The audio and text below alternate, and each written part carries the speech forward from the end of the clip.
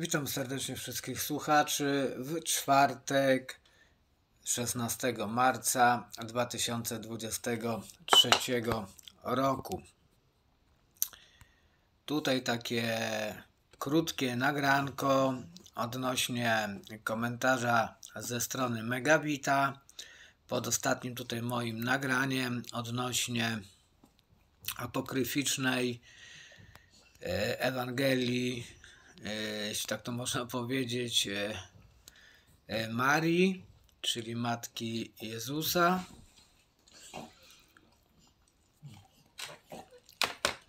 W którym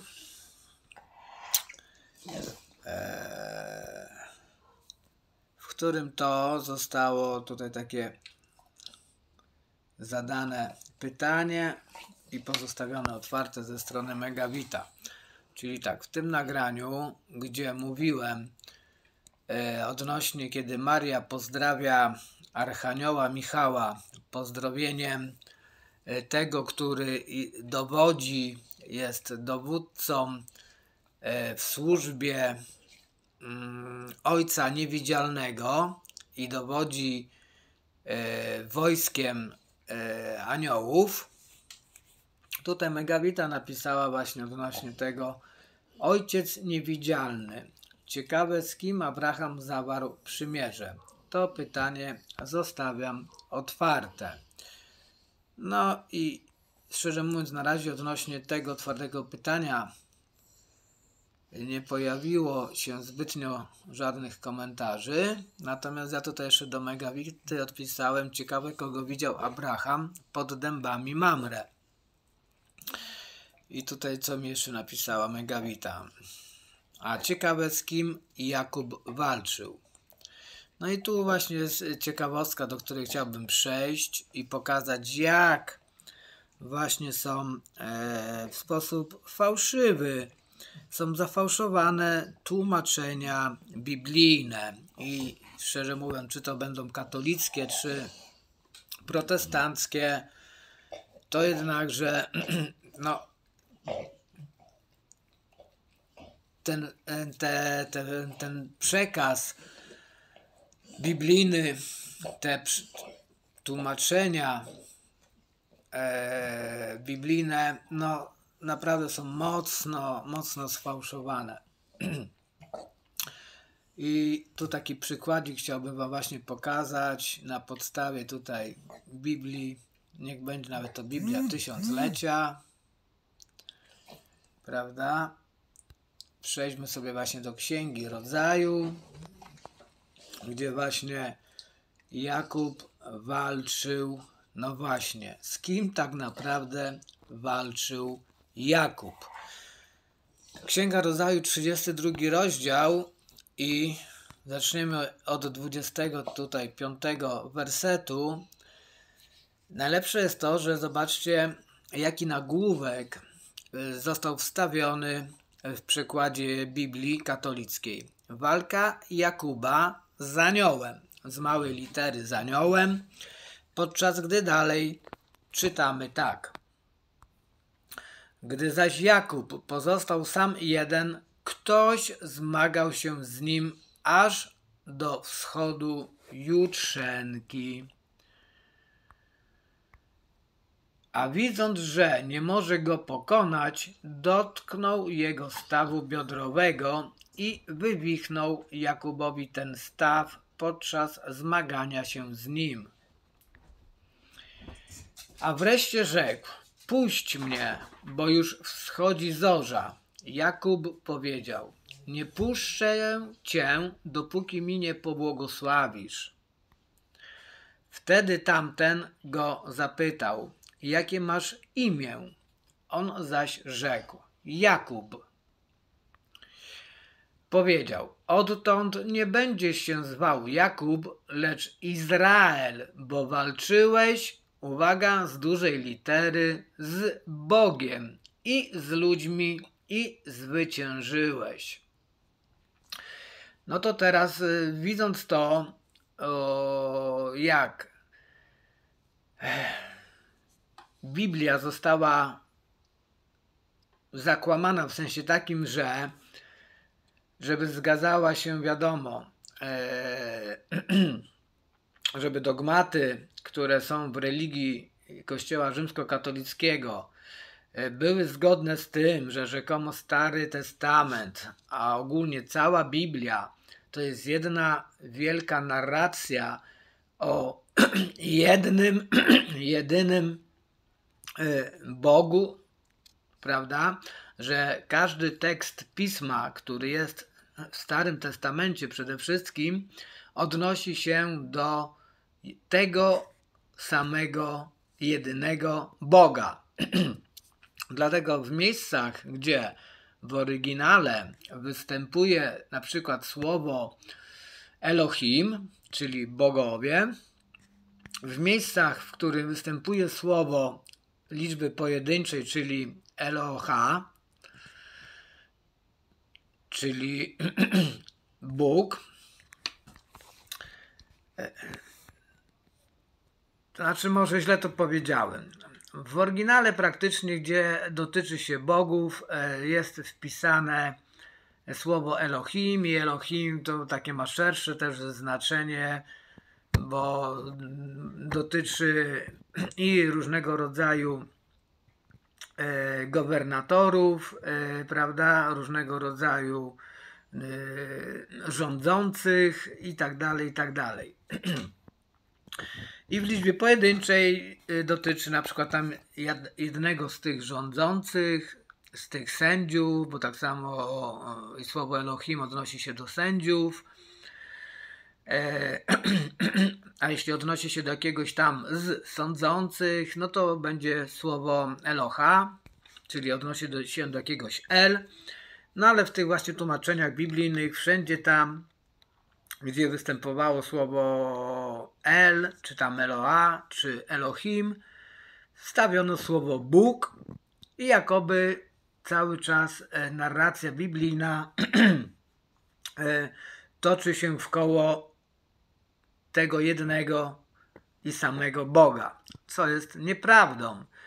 I dlatego potem wychodzą takie właśnie sprzeczne e, można by powiedzieć, informacje, gdzie no niestety zatuszowanie tych rzeczy e, kwituje się przeważnie w tym, że Biblia nie jest sprzeczna, że nie może e, teksty biblijne być ze sobą sprzeczne. Po prostu, jeśli czegoś nie można E, logicznie wytłumaczyć, no to najwidoczniej jest to tak zwana tajemnica Boża, misterium Boże, prawda? No tak to interpretuje Kościół rzymskokatolicki, który sam tego bigosu narobił, że właśnie ciężko jest teraz połapać się, co jest, e, co z czym jeść, prawda? No bo albo się trzymamy literalnie tekstu, i w tekście czytamy, że Jakub walczył z Bogiem, a tak jak naucza Kościół rzymskokatolicki, no przecież całe pismo mówi tylko o jednym Bogu, stworzycielu nieba i ziemi i człowieka i zwierząt i wszystkiego, no to jakim prawem tutaj wpisuje, że Jakub walczył z aniołem? prawda?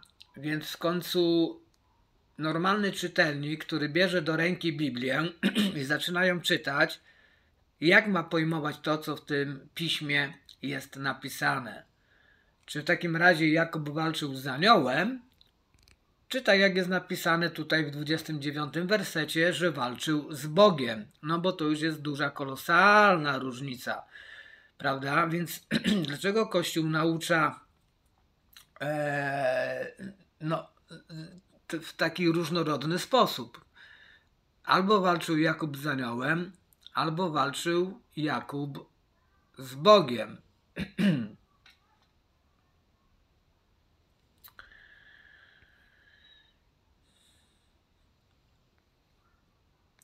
Pomijając już fakt, że w tym e, nagraniu, gdzie e, w pozdrowieniu Marii pada właśnie takie sformułowanie jak e, ojciec niewidzialny, co bardzo dobrze e, odzwierciedla to, co jest napisane w Ewangelii Jana, gdzie Jan pisze, że Boga nigdy nikt nie widział. Prawda? Boga Ojca nikt nigdy nie widział.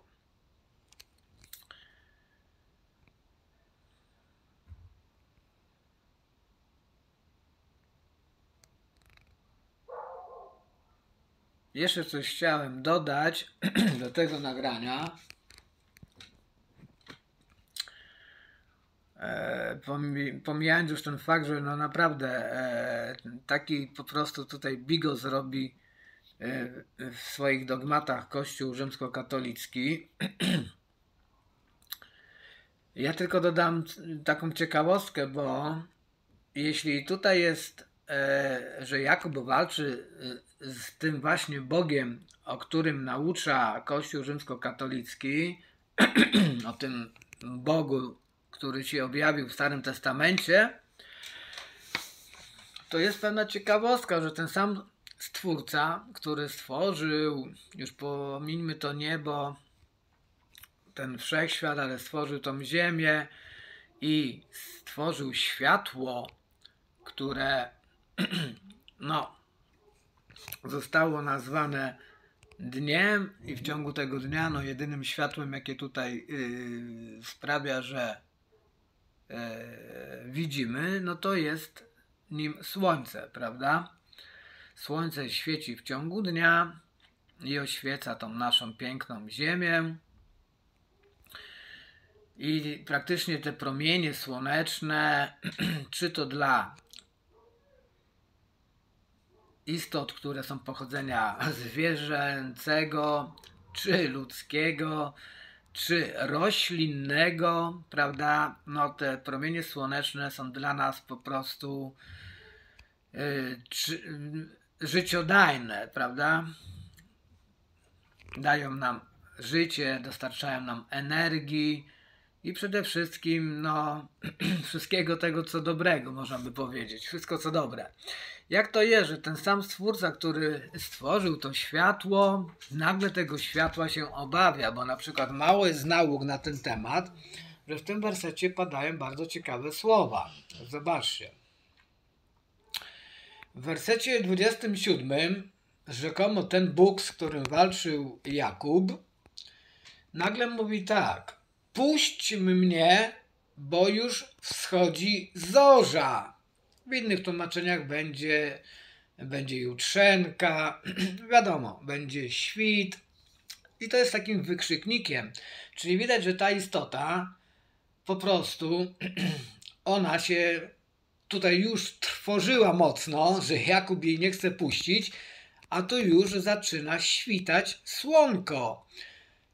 No, na dzień dzisiejszy to to, co mi się kojarzy tutaj z tym wersetem, to z takimi właśnie różnego rodzaju e, stworzeniami, hybrydami jakimiś, e, które są określane jako na przykład zombie, wampiry, prawda? To są właśnie takiego rodzaju stworzenia, e, które po prostu poruszają się tylko i wyłącznie w nocy. Tak jak tutaj ten anioł też widać porusza się tylko w nocy, a który bardzo się boi słonecznych promieni słońca wschodzącego, prawda? To jest bardzo ciekawe, bo mało kto na ten temat tutaj tego wersetu e, e, robi jakiekolwiek tutaj e, wypowiedzi, a przecież to jest bardzo ciekawe, jak istota boska tutaj jest nagle przerażona, bo nastaje wschód słońca, prawda? Nastaje świt i zaraz będzie świecić słonko, prawda? I widać wyraźnie, wyraźnie z tego, co tutaj jest napisane, że po prostu ta tutaj postać najwyraźniej tego wschodu słońca się boi i stara się uniknąć, mówiąc inaczej, stara się gdzieś schować przed tym wschodem słońca, prawda? Także z kim tak naprawdę walczył Jakub? E, co to za osoba była, która po prostu boi się e, świtu, prawda?